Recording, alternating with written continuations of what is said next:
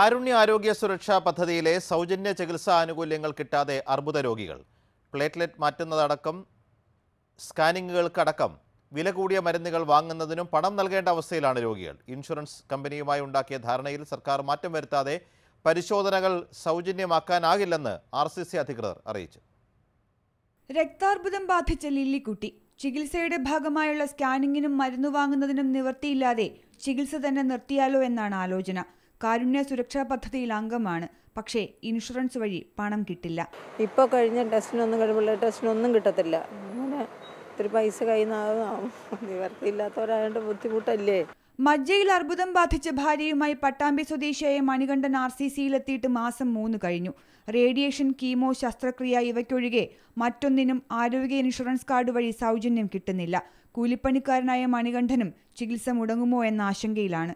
പിന്നെ ഇപ്പോൾ പ്ലേറ്റ്ലെറ്റിന്റെയും ബ്ലഡിന്റെയും ടെസ്റ്റിനൊക്കെ പൈസ കയ്യിൽ നിന്ന് ഈടാക്കുമ്പോൾ ഞങ്ങൾക്ക് ഒരുപാട് ബുദ്ധിമുട്ടുകളുണ്ടാവും. പഴയ കാരുണ്യ ബെനവലൻ ഫണ്ട് പദ്ധതിയിൽ കിടത്തി ചികിത്സയില്ലാതെ തന്നെ ചികിത്സകളും പരിശോധനകളും സൗജന്യമായിരുന്നു. എന്നാൽ രോഗിയെ കിടത്തി ചികിത്സയ്ക്ക് പ്രവേശിപ്പിച്ചാൽ മാത്രമേ ഇൻഷുറൻസ് കമ്പനിയുമായുള്ള ധാരണ പ്രകാരം സൗജന്യ ചികിത്സയും പരിശോധനകളും പുതിയ കാരുണ്യ ആരോഗ്യ സുരക്ഷാ പദ്ധതി വഴി നൽകാനാകൂ എന്നാണ് ഔദ്യോഗിക വിശദീകരണം. അഞ്ചു ലക്ഷം രൂപയുടെ സൗജന്യ ചികിത്സ. പക്ഷേ സൗജന്യം അത്ര വേഗം കിട്ടില്ലെന്ന് സർക്കാർ തന്നെ സമ്മതിക്കുന്നു. കുടുംബം വിറ്റും ചികിത്സ തേടിയെത്തുന്ന പാവപ്പെട്ടവന്റെ അവസാന അത്താണിയും അതോടെ നഷ്ടമാകുന്നു.